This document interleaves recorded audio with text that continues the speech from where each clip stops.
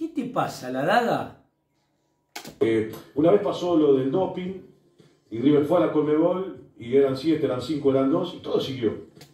A ver, ¿quién dice que eran siete casos? ¿Quién dice que eran cinco casos? Terminaron siendo dos casos y estos dos jugadores se perdieron la posibilidad de continuar jugando la competencia, aquella Copa Libertadores de América del 2017, cuando a River lo perjudican con Lanús, con los arbitrajes y con el VAR, no solamente en el Estadio Monumental, sino también en la cancha del Granate en el sur del conurbano bonaerense. Lucas Martínez Cuarta y Camilo Sebastián Mayada Mesa no jugaron más la Copa Libertadores de América. La verdad, primero, no sé qué más que querías como sanción para con River. Y lo segundo, hablar de siete casos de doping cuando no tenés ninguna prueba. Hablar de cinco casos de doping cuando no tenés ninguna prueba. Y hablar de que River fue a la Conmebol, la verdad que me sorprende demasiado. Después pasó lo del gas pimienta, River que sí, que el escritorio debía jugar, no debería jugar, y todo continuó. A ver, hablar del escritorio y que sí, que no. Punto número uno, en 135 minutos el equipo de la Rivera no pateó al arco. Punto número 2, River lo iba ganando 1 a 0, por ahí no te acordás, pero River iba ganando el partido. Punto número 3, hubo un hecho de violencia contra todos los jugadores de River, explícita, a la vera del terreno de juego, en plena tribuna, y en donde luego, en una nota, Angelici, al presidente del equipo de la Rivera en ese momento, eh, no sé si se le zafó, se le escapó, pero en donde reconoció de que se le fue la mano o sea, estaba todo armado para asustar, vaya uno a saber, a los jugadores de River. De ronda. Después pasó lo de Madrid. El micro, las piedras, que sí jugamos, que no jugamos, fuimos a Madrid, todo continuó. A ver, ¿qué se va a hablar de Madrid? No estaban los fenólicos que históricamente están en esa esquina para poder proteger al micro.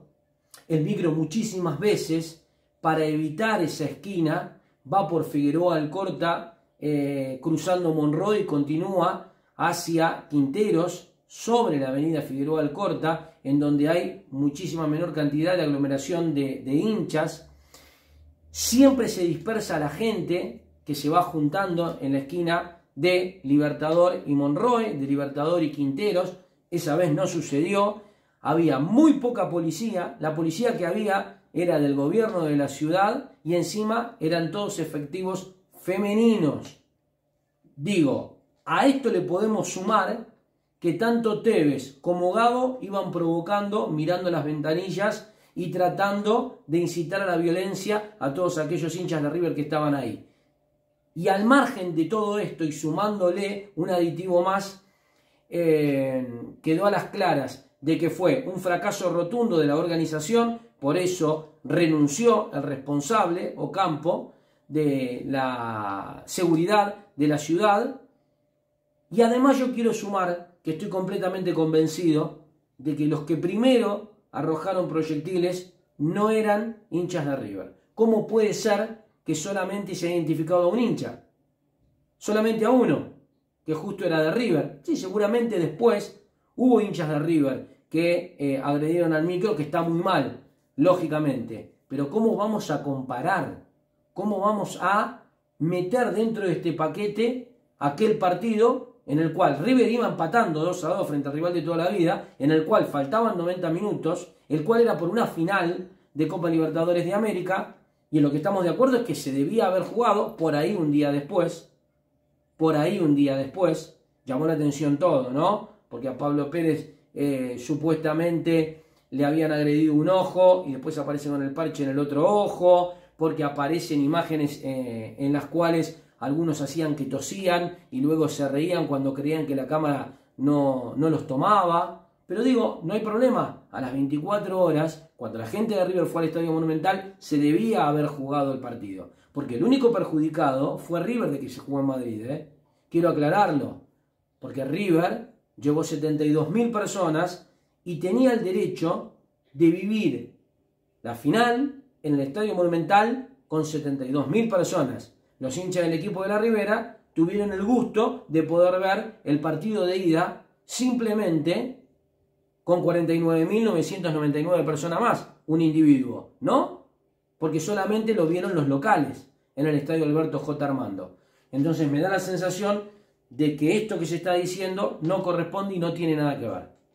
Después el campeonato local, que vino Atlético Tucumán, había 10 casos de COVID, que jugamos, que no jugamos nada, no jugamos nada, el campeonato ni se terminó, bueno, y todo siguió, no sabemos qué pasó con ese partido. 10 casos de COVID, digo, la razón la tenía River, porque esa Copa de la Liga no siguió, porque se jugó solamente esa fecha, a River se lo dieron por perdido ese partido, no sé qué más querés que se le haga a River.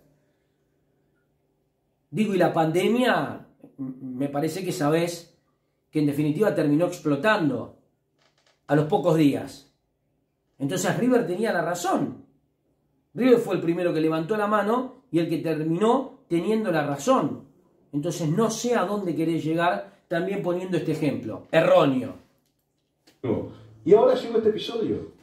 Y entonces River creo que debe de ordenar sus cuentas y dejar de ir a, pelear y a reclamar. Este episodio está hablando del partido de River frente a Independiente Santa Fe. No puedo comprender cómo un periodista deportivo está diciendo de que eh, los dirigentes de River están equivocados cuando golpean la puerta y cuando piden simplemente, simplemente tener la chance de incluir a un arquero para disputar aquel partido en el Estadio Monumental frente a Independiente Santa Fe. Igual, gracias a Dios, que se terminó dando todo, todo como se dio, porque el millonario salió en las tapas de todos los diarios del mundo. Así que fue marketing puro. Por suerte, no escucharon a River y esto nos sirvió definitivamente como marketing a nivel mundial.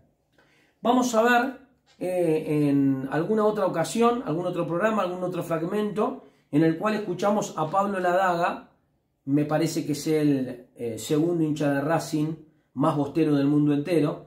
Ya saben quién es el primero. Eh, no hace falta que, yo lo mencione acá.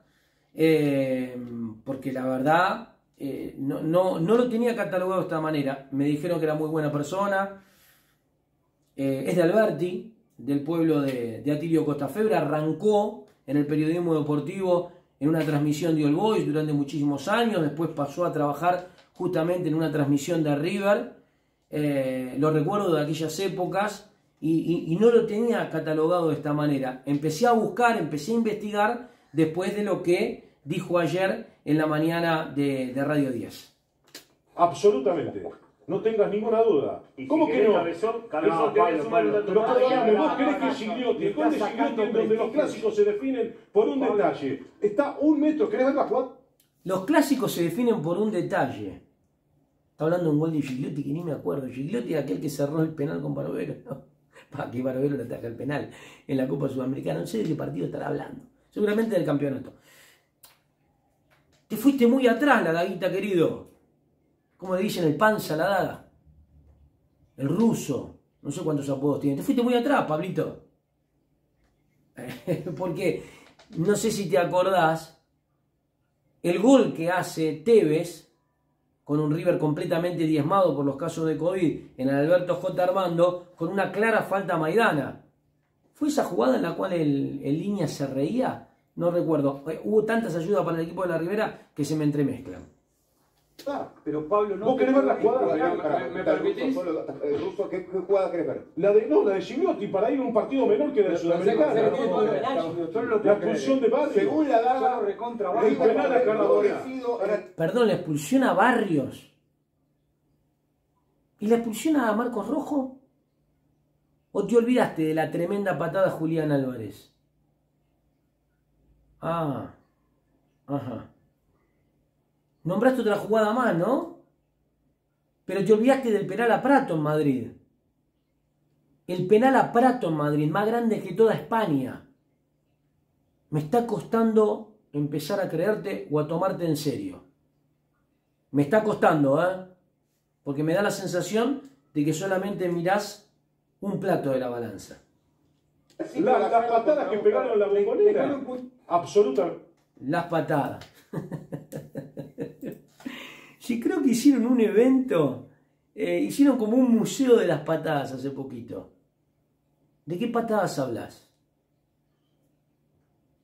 Seguramente respetás a Carlos Tevez. Tiene colección de huesos. Tiene tibias, peroné, tobillos, rodillas. Creo, creo que en la casa, en el living de la casa, tiene cuadros con uno y cada uno de los huesos que ha roto en toda su carrera. Perdón, ¿eh? Me está costando creerte mucho. Vamos a hablar de River porque hay alerta y alarma en River. ¿Qué pasa en River? No levanta cabeza, dice el Zócalo, y se complica. Está fuera de todo. Fuera de todo. Seguramente esto lo dijiste una vez que River quedó afuera con, con Vélez Arfiel en el Estadio Monumental siendo robado. Ahora vamos a escuchar un poquito más, no creo que hayas hablado eh, del robo del gol de, de, Matías Suárez, pero River no estaba fuera del campeonato. De este campeonato que, está peleando hoy por hoy, ¿no? Está quinto, a siete del puntero. No está fuera de la Copa Argentina, juega ahora la semana que viene, el miércoles, frente a Defensa y Justicia en el Chaco por los octavos de final. ¿Por qué afuera de todo?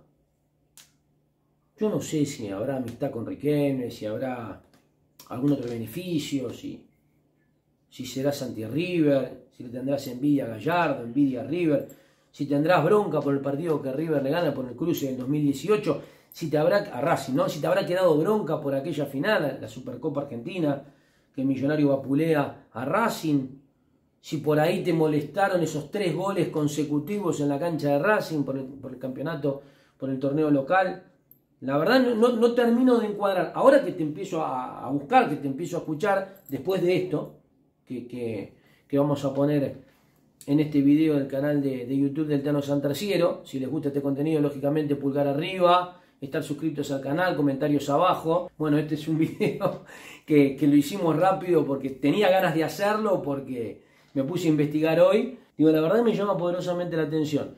Eh, cada vez que me hacían una nota a mí como relator y me preguntaban cuáles eran los relatores que más me gustaban radialmente hablando, siempre nombraba a Pablo Ladaga. Después, cuando empezaste a relatar en la tele, para mi gusto te echaste a perder, porque yo creo que todo aquel que empieza a relatar en la tele se echa a perder como relator radial, porque pierde sentido de la descripción. Y a otro relator rosarino que, bueno, que ya no, está más en Buenos Aires y que, es poco conocido. Eh, pero la verdad que, ¿qué te pasa, Ladaga? ¿Qué te pasa, la daga? Creo que no voy a mencionar más que, que eras uno de los mejores relatores que por lo menos yo he escuchado en la radio. El escenario, el viaducto de Sarandí, la cancha de Arsenal. Ah. Esto se dijo ayer a la mañana, martes. River juega con Arsenal el miércoles de la semana pasada. ¿Tardaste seis días en decirlo? ¿Por qué? ¿Porque queda menos para el Superclásico? ¿O porque te enteraste ahora? Es una duda que yo tengo, ¿eh? Había que equilibrar la trompada de Benedetto a Zambrano con algún lío en el vestuario en River. Que en realidad no hay ningún lío. No hay ningún lío. ¿eh? Yo dudo que esto haya pasado. No lo voy a confirmar ni lo voy a desmentir. Después de todo lo que escuché me cuesta creerte. No lo voy a confirmar ni lo voy a desmentir. Es más, ni me preocupé por saber si es verdad, porque no pasó nada. Un trompazo es muy grave. Un trompazo es muy grave entre dos compañeros y, previo a salir al, terreno de juego en el segundo tiempo. Bueno, justo se da la casualidad de que esto pasó en el entretiempo, ¿no? Qué casualidad. El partido Arsenal de Sarandí River, mm. final del primer tiempo, van al vestuario y el técnico de River se dirige a Beltrán y le recrimina ciertas cuestiones que tenían que ver con lo futbolístico. Aparentemente el modo, el tono, la forma no fue la mejor. A ver, el aparentemente, el aparentemente ya me está diciendo de que no tiene confirmado esto. Y si el muñeco va recaliente, porque River jugó definitivamente mal frente a Arsenal, a recriminarle dentro de lo futbolístico algo a Beltrán, la verdad que no creo que nadie tenga el tupé de decirle algo al muñeco Gallardo. Punto número uno. Punto número dos. Si hay algo que pregona o por lo menos que demuestra Marcelo Gallardo a lo largo de, estos ocho años, seguramente tuvo eh, algunas ocasiones en las cuales se ha corrido, porque bueno, es un ser humano y se puede equivocar, pero si hay algo que él pregona y que ha demostrado en estos ocho años es no faltar el respeto. Porque acá está hablando de falta de respeto por parte de Gallardo Beltrán. El que interviene, y acá está la cuestión, es el mendocino Enzo Pérez. Se levanta, lo mira al entrenador, a Marcelo Gallardo, y le dice, perdón, esto no. La falta de respeto no. El respeto ante todo. Cuidado. Se le acerca... Cuidado. ¿De verdad vos crees? Yo te digo a vos, señor, que está ahí en YouTube. ¿De verdad vos pensás que al muñeco Gallardo le vas a decir cuidado? Lo tenés que conocer muy poco. La verdad lo tenés. Primero que la relación de Enzo Pérez con el muñeco siempre fue excepcional. Pero al margen de esto, ¿vos de verdad pensás que le puede llegar a decir un jugador cuidado? Indudablemente termina a, a las piñas. Pero que no te quepa ninguna duda. El que lo conoce un poquitito el muñeco o el que averiguó un poquitito sobre cómo es el muñeco, sabe que nadie le va a decir cuidado y todo va a terminar ahí. Se le acerca Armani al jugador, a Enzo Pérez, y le dice, yo tampoco lo aguanto más. Después del Mundial me voy. Ajá, ¿y en qué momento Enzo Pérez dijo que no lo aguantaba más a Gallardo? O yo me perdí algo. Porque para que diga yo tampoco lo aguanto más, no sé en qué momento. Armani, arquero fundamental en, River, arquerazo muy querido, eh, y creo que es recíproco, ¿no? Eh, lo de Armani para con la gente de River, que jamás ha perdido la titularidad, jamás en River. Y que creo que, ha faltado muy poquititas veces y, y únicamente por el COVID. Eh, así que me llama poderosamente la atención. Al margen de que el perfil de Armani es recontrabajo. Para mí es ciclo terminado. Un amigo, muy amigo del jugador, le manifestó. Pero ¿cómo? Y ese cariño y la relación que se tienen, y Enzo Pérez le manifestó, no, no, no, pará. Cariño le tuve a Sabela. A él le tengo respeto. No pasó, no pasó nada. No pasó nada. Está bien, le tiene respeto, no le tiene cariño. No pasó absolutamente nada. No pasó absolutamente nada. Entonces, quieren generar un conflicto. A ver, River lanza lo del estadio y ellos vuelven a hablar del Alberto J. Armando 360, del proyecto esloveno y de la mar en coche. River eh, habla de los socios y ellos hablan de los socios. River habla eh, de, lo que fuese y ellos salen hablando de un caso similar. Eh, me parece que están teniendo un complejo de inferioridad muy notorio los del equipo de la Ribera y hay muchos periodistas afines a la dirigencia del equipo de la Ribera que, entre comillas, trabajan directamente para el equipo de la Ribera y para lanzar este tipo de cosas. En River no ha pasado absolutamente nada. Dudo que haya sucedido esto. Y si sucedió, no tiene ni punto de comparación con que dos jugadores se agarren a trompadas. Y si sucedió, se debía haber dicho hace una semana y no cuando estemos cada vez más cerca del superclásico. Así que a todos aquellos que me preguntaban por privado, quédense tranquilos. Quédense tranquilos que en River reina la paz en River no hubo, no hay ni habrá cabaret. Ni dicho por los dirigentes, ni dicho por los jugadores, ni dicho por los hinchas, ni dicho por los periodistas. No sé si me entendés. Espero que les haya gustado el contenido, pulgar arriba, suscribirse al canal, comentarios abajo. Y a vos, y a vos, ¿qué te pasa, la daga?